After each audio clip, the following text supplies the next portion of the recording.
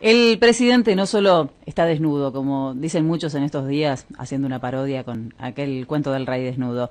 El presidente, sobre todo, está solo, pero no pierde su esencia. Sigue socializando pérdidas y evadiendo responsabilidades. Esto es lo que ha hecho siempre.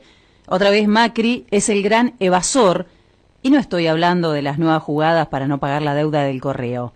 Hablo de la historia de Macri empresario, que es bastante parecida en algunos puntos a la historia de Macri presidente. Evadir responsabilidades y hacer que las cuentas las paguen otros.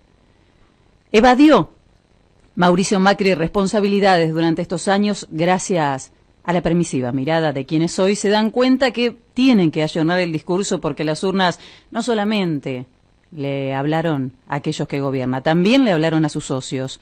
Y sigue evadiendo responsabilidades con anuncios irresponsables cuyos costos los pagan principalmente las provincias. Lo pagan, en definitiva, los ciudadanos y las ciudadanas.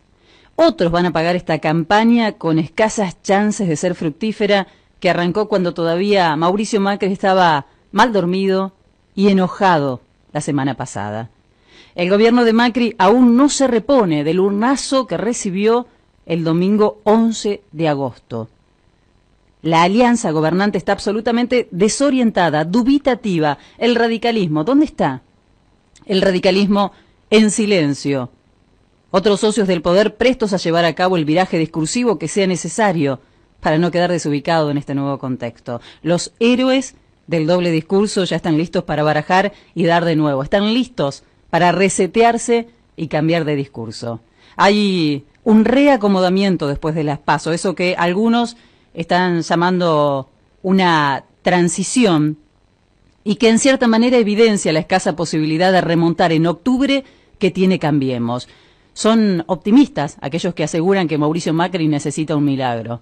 Necesita mucho más que un milagro para ganar las elecciones en octubre. El presidente relanzó su campaña dos días del resultado de las PASO, prometiendo y anunciando supuestos alicientes a los sectores que lo rechazaron en las urnas. Pero la campaña la tienen que bancar las provincias, en definitiva, los ciudadanos, que van a seguir sufriendo el ajuste en sus regiones.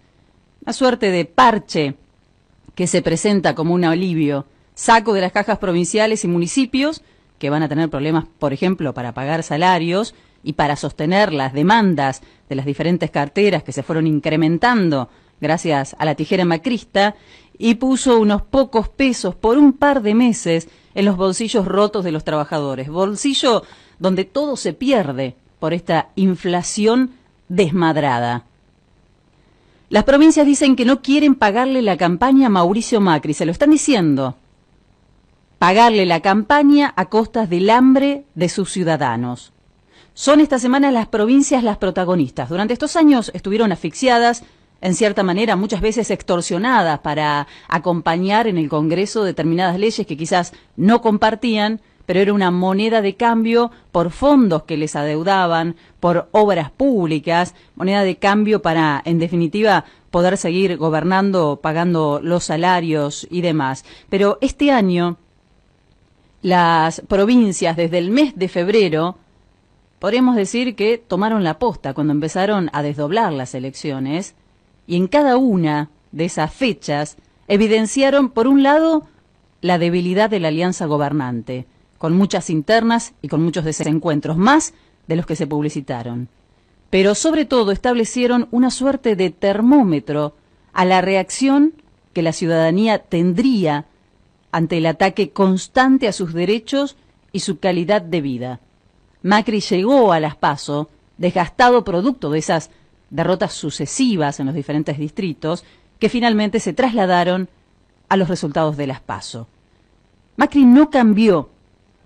Macri no es hoy populista. Y está claro que no está escuchando. Eso que desde hace algunas semanas los líderes de Cambiemos repiten como un mantra. Los escuchamos, escuchamos las urnas, estamos escuchando, es importante la escucha, ¿no? Parece que esa es una de las líneas de la campaña o del nuevo discurso. Está claro que esto no es así. Las medidas arbitrarias demuestran que no es así. La violencia estatal en las calles demuestran que no es así. El discurso de Bullrich, otra vez, justificando la violencia, demuestra que no están escuchando nada. Solo se trata de un intento de supervivencia en el poder. Durante todo su mandato, todo su mandato, Macri destrozó, minimizó y despreció cualquier posibilidad de diálogo con las provincias. ¿Por qué cambiaría ahora? El federalismo es algo que se enuncia, pero que se practica pocas veces. Y las fotos que dejan la semana dicen mucho más que las palabras. Por un lado, 19 provincias juntas, preparadas para actuar en la justicia por este ajuste brutal en sus arcas, producto de estas medidas anunciadas por Mauricio Macri. Macri finalmente logra algo parecido a cerrar la grieta.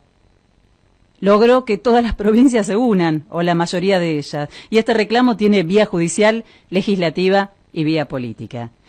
Y la otra foto, que es la contraparte, es la de Mauricio Macri y su gabinete con los gobernadores de Cambiemos. Así se la anunció, así se la tituló, y es una foto donde hay más funcionarios que gobernadores. Hay solo tres gobernadores. Falta uno, Falta Cornejo. Cornejo quiere estar lo más lejos posible de Mauricio Macri porque no quiere que la cercanía de la imagen presidencial lo, le pase factura en las elecciones que se van a celebrar en Mendoza el próximo 29 de septiembre. Y en esa foto está también Pichetto.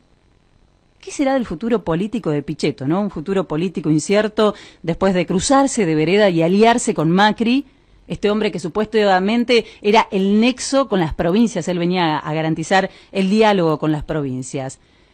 Es esa foto el final, la crónica de un final que estaba anunciado. Además de lograr siempre que otro pague sus cuentas, el presidente acostumbra además a socializar las pérdidas. Y en este caso quiere socializar la derrota electoral necesita, demanda encarecidamente que aparezca Alberto, si es posible también que aparezca Cristina, que hable, que se sienten en su mesa, que le atiendan el teléfono, que asuman los costos políticos, que le den chances de remontar la campaña. Macri se quedó solo y busca socios para la debacle inmensa que está dejando antes de irse. Faltan 11 semanas para las elecciones de octubre. Es una eternidad para este gobierno errático, tan errático que parece estar preparando el anuncio de medidas para aliviar el desastre que resultó de sus propias medidas anunciadas hace 10 días. Imaginen eso. Suena medio loco, pero es así. Está pensando medidas para contrarrestar el resultado de las medidas que anunció después de las elecciones. Complejo. Un gobierno saliente que confundido revisa y discute internamente qué hizo mal durante la campaña, cuando en realidad debería revisar sus políticas de gobierno.